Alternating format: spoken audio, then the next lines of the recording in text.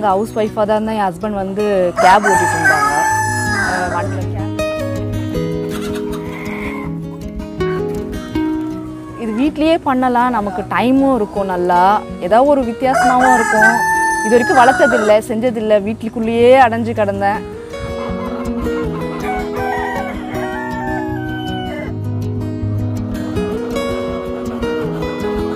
சாதா நாட்டுக்கோழி வச்சுருந்தப்போ ஒரு ரெண்டு மூணு நாளில் செத்து போச்சு.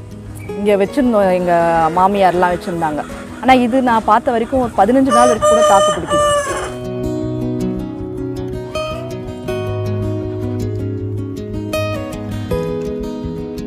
காலையில் அஞ்சு மணிக்கு நாங்கள் எழுந்திருப்போம். ஆனால் ஆறரை மணிக்கு வந்தால் போதும் இவங்களுக்கு. தண்ணி முதல்ல ரெடி பண்ணணும். ஏன்னா கொஞ்சம் இப்போ டெய்லி கொடுக்குற தண்ணியே மஞ்சள் தூள் நான் வந்து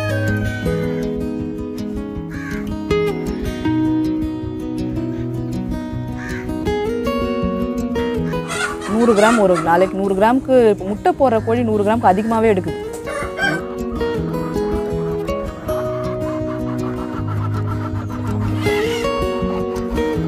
சாப்பிட்டவங்க எல்லாம் இது வந்து சிக்கனே கிடையாது மட்டன்ன்றாங்க கொலஸ்ட்ரால் கொஞ்சம் கூட ரொம் இல்லவே ரொம்பவே இல்லை. நீங்கள் அந்த பிராய்லர் கோழி வேக வைக்கும் போதே அதில் எண்ணெயாக மிதக்கும்ல. இதில் வந்து அந்த மாதிரி அந்த மாதிரி இல்லை. கொலஸ்ட்ராலே ரொம்ப கம்மி.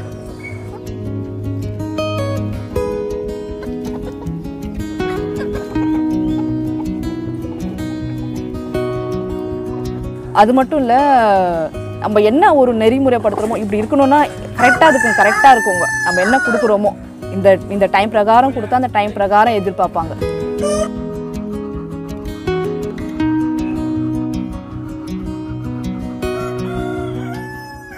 நான் பார்த்த வரைக்கும் இந்த கோழிக்கு ஒரே ஒரு பிரச்சனை சளி தொல்லை இருக்கும்.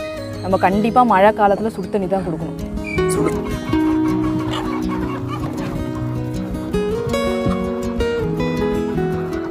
இறந்து விட்ட போதே எவ்வளோ சந்தோஷமாக வெளில வந்தாங்க பார்த்தீங்க.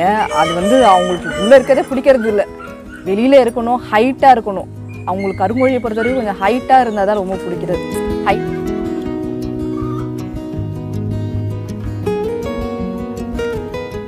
லிட்டர் தண்ணி எடுத்துப்பேன். எடுத்துக்கிட்டு லெமன் பிழிஞ்சு ஒரு ரெண்டு லெமனை பிழிஞ்சிட்டு அதில் கொஞ்சம் அரைச்சிட்டு உப்பு போட்டு கலந்து வச்சிடுவேன். இப்போ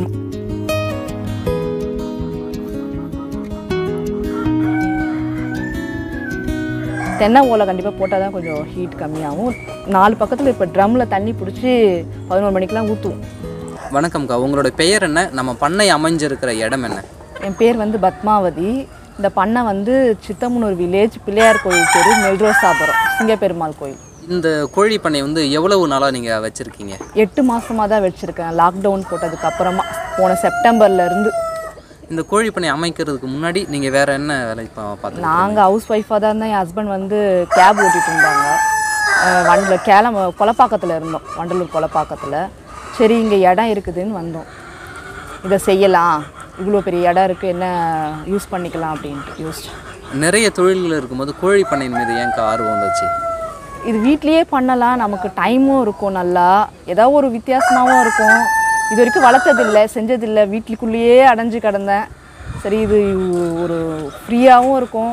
கற்றுக்கலாம் ஒரு ரொம்ப லாங் டைம் ஒரு ஆறு மாதம் ஆகுது கற்றுக்கிறது கற்றுக்கிறதுக்கு பொறுமையாக இருந்துக்கணும். எவ்வளவு பரப்பளவுலக்கா இந்த கோழி பண்ணை அமைஞ்சிருக்குது? இது வந்து மொத்தம் பதிமூணு சென்ட் இடம் இது. ஒரு ரெண்டரை மூணு சென்ட் கிட்டத்தட்ட வீடு அந்த பாட் பண்ணிவிட்டு மீதி பத்து சென்ட்டுக்கு அமைச்சிருக்கிறோம். மொத்த கோழி வந்து நூற்றி நாற்பது இருக்குது இது ஆரம்ப கட்டத்தில் எவ்வளவு கோழிகள் வாங்கி ஆரம்பிச்சிங்க? ஆரம்ப கட்டத்தில் எங்களுக்கு அந்த அளவுக்கு முட்டைக்காக தெரில நாங்கள் ஆரம்பித்தோம் ரெண்டு மாதத்தில் அதாவது டே ஒன் சிக்கா வாங்கின்னு வருவோம். சேலம் ஈரோடுல இருந்து. ரயில் மூலமாக அமுச்சிடுவாங்க. புக் பண்ணால் இப்போ நிறைய கோழி ரகங்கள் இருக்கும்போது கடக்நாத்தை ஏன் தேர்ந்தெடுத்தீங்க? இதுக்கு வந்து எனக்கு வந்து இப்போ தான் புதுசாக ஆரம்பிக்கிறதுனால இதுக்கு நோய் எதிர்ப்பு சக்தி அதிகம் இருக்குன்னு சொன்னாங்க. நோயும் தாங்குது. சாதா நாட்டுக்கோழி வச்சுருந்தப்போ ஒரு ரெண்டு மூணு நாளில் செத்து போச்சு. இங்கே வச்சுருந்தோம் எங்கள் மாமியார்லாம் வச்சுருந்தாங்க. ஆனால் இது நான் பார்த்த வரைக்கும் ஒரு பதினஞ்சு நாள் வரைக்கும் கூட தாக்கு பிடிக்குது. நோய் வந்தால் சரி ஒரு ஸ்பெ ஒரு யாருமே இங்கே வரைக்கும் வச்சில்ல. ஸ்பெஷலாக இருக்கும் கடகநாத் மட்டும் வச்சுருக்கலாம் அப்படின்ட்டு ஒரு யோசனை வந்து இந்த ஷெட் அமைப்பு எப்படிக்கா போட்டிருந்தீங்க? ஏன்னா பார்க்கறதுக்கே கொஞ்சம் ரொம்ப சிம்பிளாக இருக்குது இந்த மாடல் வந்து எங்கேருந்து பார்த்தீங்க? இது எப்படி இந்த ஐடியா வந்துச்சு எல்லாம் நெட்டில் ஒரு தடவை பார்த்தேன் நாங்கள் அவ்வளோதான் சும்மா ஒரு பக்கத்தில் எப்பயோ போட்டு வச்சிருந்த ஒரு செட்டை போய் பார்த்தோம். பார்த்துட்டு வந்து நாங்களா யோசித்து நாங்களா முடிவு பண்ணி நாங்களே நாங்களே ஆளாக இருந்து கூட செஞ்சோம் கட்டினது.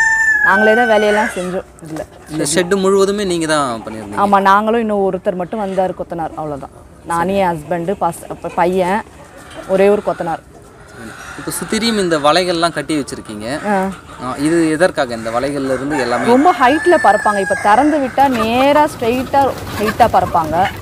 ஏதாவது வந்து பறவை பறந்ததுன்னா கொஞ்சம் பயப்படுறாங்க ஏன்னு தெரில ரொம்ப ஹைட்டாக பறக்குறாங்க. சரி அப்படி போயிடக்கூடாதுன்ட்டு கட்டி வச்சுருக்கோம். தினசரி காலையில் இருந்தோடனே உங்களுடைய வேலை என்னக்கா? எத்தனை மணிக்கு எழுப்பீங்க? கோழி பண்ணைக்கு வந்து இந்த கோழி பண்ணையில் தினசரி காலையில் உங்களுடைய வேலை என்ன வேலையாக இருக்கும்? காலையில் அஞ்சு மணிக்கு நாங்கள் எழுந்திருப்போம். ஆனால் ஆறரை மணிக்கு வந்தால் போதும் இவங்களுக்கு. தண்ணி முதல்ல ரெடி பண்ணணும். ஏன்னா கொஞ்சம் இப்போ டெய்லி கொடுக்குற தண்ணியே மஞ்சள் தூள் நான் வந்து கருஞ்சீரகம் தூள் கொஞ்சம் மிளகு சீரகத்தூள் எல்லாம் பொடி பண்ணி வச்சுருக்கிறேன். அதெல்லாம் ஒரு கொஞ்சம் கொஞ்சம் கலந்து அப்புறம் வந்து சளி இருக்காமல் இருக்கிறது கொஞ்சம் அதிமதுரத்தூள் கீழா நெல்லி பொடி வச்சுருக்கிறேன். கீழா நெல்லி இங்கே இருக்குது சுற்றியும் இருக்குது ஒரு வாரத்தில் ஒரு நாள் அதையும் எடுத்து இடித்து தண்ணியில் கலந்து வச்சிடும் டெய்லி தண்ணியில் இதை கலந்து வச்சு வச்சு வச்சுட்டு தான் அப்புறம் காலையில் திற திறந்து விடுவோம். திறந்து விட்டோடனே அடர் தீவனம் தான் முதல்ல போடுவோம். மத்தியானம் தான் தழையும் காய்கறி கேரட்டு சீவல் கோஸ் சீவல் புதினா கட்டு அப்புறம் வந்து கீரை. இதெல்லாம் கடையிலேருந்து வாங்கிட்டு வந்து போடுவோம் மத்தியானத்தில்.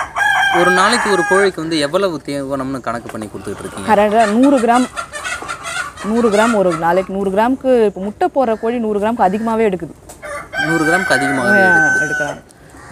இப்போ எவ்வளவு முட்டை வரைக்கும் எடுது கோழிகள்? இது வந்து இப்போ தொண்ணூறு தாய்க்கோழி இருக்கிறது. முப்பத்தஞ்சுலேருந்து நாற்பது முட்டை வரைக்கும் கிடைக்குது ஒரு நாளைக்கு? ஒரு நாளைக்கு. இப்போ வந்து ஹேட்சிங்க்கு கேட்குறாங்க அப்புறம் வந்து குழந்தைங்களுக்கு கொடுத்தா ரொம்ப நல்லதுன்ட்டு. வளர்ச்சிக்கு கொஞ்சம் வீக்காக இருக்கிற குழந்தைங்களுக்குலாம் கொடுத்தா.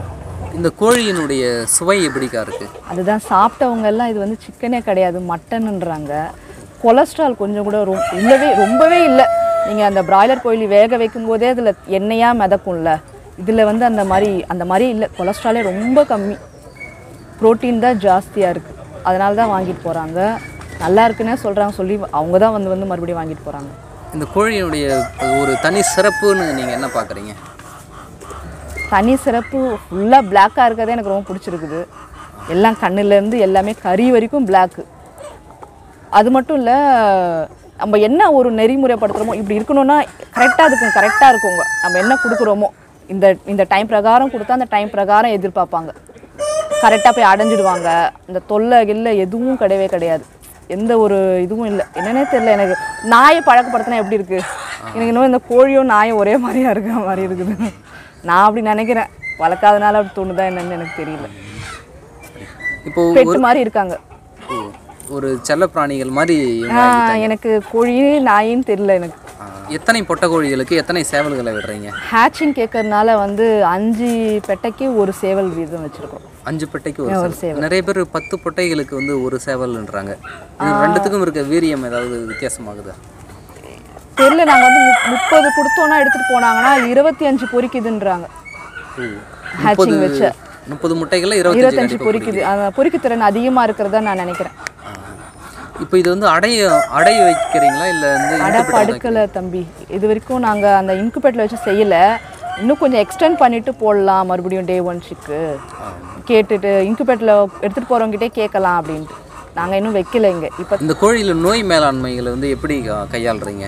நான் பார்த்த வரைக்கும் இந்த கோழிக்கு ஒரே ஒரு பிரச்சனை சளி தொல்லை இருக்கும். நம்ம கண்டிப்பாக மழை காலத்தில் சுடு தண்ணி தான் கொடுக்கணும். பச்சை தண்ணி மாறினாலே சளி வந்துடுது. சுடு தண்ணி கொடுக்கணும் மழை காலத்தில். வெயில் காலத்தில் சாதா தண்ணி கொடுத்துடலாம். ஆனால் டெய்லி இந்த தூள் போடணும். எல்லாம் மஞ்சள் தூள் மிளகுத்தூள் சீரகத்தூள் அதிமதுரத்தூள் அதிமதுரத்தூள் இப்போது ரொம்ப ஹீட்டுனால வாரம் ஒரு நாள் கொடுத்தா போதும். அப்புறம் வாரத்துக்கு ஒரு நாள் எங்கள் வீட்டாண்டே இருக்க குப்பைமேனி அஹ், துளசி கீழா நெல்லியும் இருக்குது இஞ்சி பூண்டு வச்சு அரைச்சி வாரத்தில் ஒரு நாள் ஞாயிற்றுக்கிழமை ஞாயிற்றுக்கிழமை கொடுத்துருவோம் அது இருக்கோ இல்லையோ. நாங்கள் அதை கொடுத்துட்டே வரோம். ஓ இது வந்து ஒரு முன்னெச்சரிக்கை நடவடிக்கை இல்லைங்களா? ஆமாம் இது ஒரு முன்னெச்சரிக்கை நடவடிக்கை. இதுக்கு ஒரு சளி தொல்லை மட்டும்தான் வருது. தண்ணி மாறிட்டாலே வந்துடுறாங்க வந்துடுது. தண்ணி மாறினாலே இந்த தொல்லைகள் சளி தொல்லை வந்துடுது. கம்பல்சரியாக என்னன்னு தெரியல நாங்கள் மழை காலத்தில் சுடு தண்ணி கொடுத்தா சளி இல்லாமல் இருந்தோம் சுடு தண்ணினா எந்த அளவு பதத்துல கொடுக்குறீங்க? நல்லா ந ஈவினிங்கு காசி ஆற வச்சிடணும் கொதிச்சு ஆற வச்சிடணும் ஆற வச்சு இறக்கி வச்சுடுவோம் இறக்கிட்டு மறுநாள் வந்து ட்ரம்மில் ஊற்றி வச்சுட்டு காலைல மறுநாள் வந்து ஆற ஜில்லுன்னு ஜில்லுன்னு ஆக்கிட்டு. கருங்கோழிகள் நாங்கள் இங்கே இப்போ பார்க்குறோம் மேய்ச்சல் முறைகள் இருக்குது நிறைய பேர் கூண்டுக்குள்ளேயே வச்சு அடைக்கிறாங்க. மேய்ச்சல் முறை வந்து எவ்வளவு அவசியம் இந்த கோழிகளுக்கு? இப்போ திறந்து விட்டும் போதே எவ்வளோ சந்தோஷமாக வெளில வந்தாங்க பார்த்தீங்க அது வந்து அவங்களுக்கு உள்ளே இருக்கிறதே பிடிக்கிறது இல்லை. வெளியில் இருக்கணும் ஹைட்டாக இருக்கணும். அவங்களுக்கு கருங்கோழியை பொறுத்த வரைக்கும் கொஞ்சம் ஹைட்டாக இருந்தால் தான் ரொம்ப பிடிக்கிறது. ஹைட்டில் ஒரு ஸ்டாண்டு மாதிரியோ எது மாதிரி வச்சா அவங்களுக்கு ரொம்ப பிடிக்கும். உள்ளே இருக்க மாட்டாங்க. கத்திட்டே இருப்பாங்க. ஆறு மணிலேருந்து ஆரம்பிச்சிடுவாங்க கத்துற சத்தம். திறந்து விட்டு மறுபடியும் ஏழாவும் உள்ளே போய் அடையிறது. அது வரைக்கும் அவங்க மேய்ச்சல் முறையில் தான். ஃபுல்லாக இருந்தது. எல்லாமே பசும் தீவனமாக இருந்தது. எல்லாத்தையும் கொத்தி கொத்தி இப்படியே ஆக்கிட்டாங்க. பச்சை பச்சைன்னு இருந்த தர இது. இப்போ கோழிகளுக்கு வந்து பசுந்தீவனம்னு என்னென்னலாம் கொடுப்பீங்க? அவங்களுக்கு ரொம்ப பிடிச்சது வந்து காலிஃப்ளவர் தழை ரொம்ப பிடிக்கும். புதினா. புதினா அப்புறம் வந்து அகத்திக்கீரை எல்லா கீரை வகைகளும் சாப்பிடுவாங்க. ஒரு ஒரு நாள் ஒரு நோய் வாங்கிட்டு வந்துடுவோம் இந்த கீரை வகைகள் வந்து எத்தனை கிராம் வரைக்கும் கொடுக்குறீங்க கோழிகளுக்கு? கிராமா? ஒரு கோழிகளுக்கு வந்து இந்த பசுந்தீவனம்னு எவ்வளவு கொடுக்குறீங்க? எனக்கு கிராம் எனக்கு அளவு தெரியல. எனக்கு வந்து தீவன அளவு மட்டும் நூறு கிராம் தெரியும். ஒரு கோழி எடுத்துக்கிறது. இது வந்து வாங்கிட்டு வருவோம். வாங்கிட்டு வந்தது போட்டுருவோம். இப்போ வந்து வெயில்னால நிறைய சாப்பிட்றாங்க அதை மட்டும். தீவனம் எடுக்கிறது கோடை காலத்தில் வந்து எப்படி கோழிகளை பராமரிக்குது ஏன்னா மழை காலமும் கோடை காலமும் வந்து கோழிகளுக்கு வந்து ரொம்ப பிரச்சனையான காலங்க இப்போ இந்த கோடை காலத்தை எப்படி சமாளிக்கிறீங்க? ஒரு அஞ்சு லிட்டர் தண்ணி எடுத்துப்பேன். எடுத்துக்கிட்டு லெமன் பிழிஞ்சு ஒரு ரெண்டு லெமனை பிழிஞ்சிட்டு அதில் கொஞ்சம் அரைச்சிட்டு உப்பு போட்டு கலந்து வச்சிடுவேன். இப்போ மத்தியானம் வெயில் ஏறின உடனே ஒரு பத்து பதினோரு மணிக்கெலாம் அந்த தண்ணியை தான் கொடுப்பேன். ஒரு நாள் லெமன் ஜூஸ் ஒரு நாள் வந்து எலுமிச்சை சாறு. எலுமிச்சை சாறில் நெல்லிக்காய் சாறு. அந்த மாதிரி போட்டு கொடுப்பேன் ஒரு நாள் வந்து எலக்ட்ரான் பவுட்ரு இப்படி தான் நான் கொடுத்துட்ருக்கேன். இந்த வெயிலில். இந்த ஷெட்டு அமைப்பு வந்து மேலே தகரத்தால் அமைச்சிருங்க. இதனுடைய வெப்பத்தாக்கம் கோழிகளுக்கு ஏதாவது இருக்கா? இப்போ போட்டிருந்தோம் எடுத்துட்டோம். இந்த தென்னை ஓலை போட்டிருந்தோம். கொஞ்சம் காஞ்சிடுச்சு எடுத்துட்டோம். இப்போ ஆள் வரல இன்னும் வெட்டுறதுக்கு. தென்னை ஓலை கண்டிப்பாக போட்டால் தான் கொஞ்சம் ஹீட் கம்மியாகும்.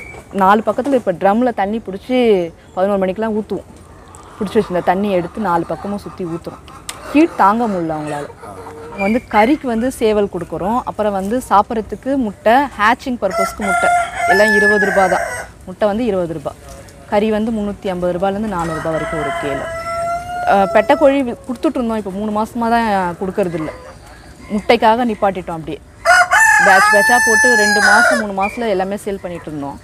ஒரு 600 கோழி அந்த மாதிரி தான் விற்றுட்டோம் டே ஒன் சிக்காக வாங்கிட்டு வந்துட்டு.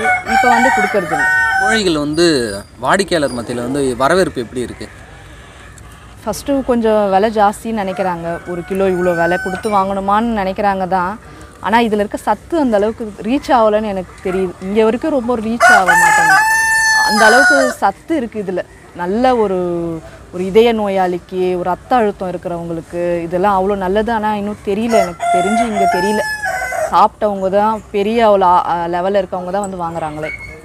மற்றவங்களுக்குலாம் யாருக்கும் தெரிய மாட்டேங்குது. முட்டை மட்டும் தெரியுது ரீச் ஆகுது. ஆனால் இருபது ரூபாவான்னு சொல்கிறாங்க ஆனால் வந்து கொஞ்சம் வீக்காக இருக்கிற குழந்தைங்களுக்காக கண்டினியூஸாக புக் பண்ணிடுறாங்க.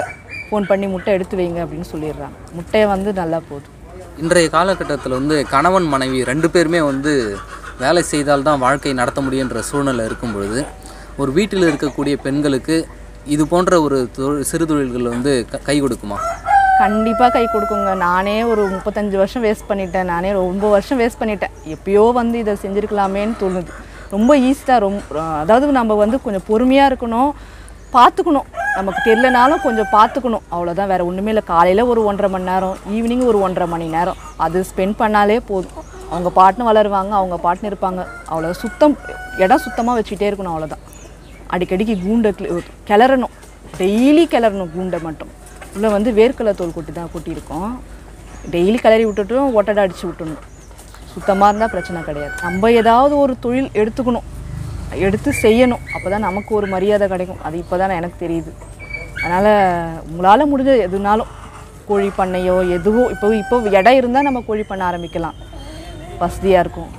இப்போ வந்து வேலைக்கு போனாலும் லாக்டவுனால் ஒன்றுமே செய்ய முடியல வீட்டிலேருந்து நம்ம ஏதாவது யோசிக்கணும். இதை செய்யலாமா அதை செய்யலாமா அப்படின்னு.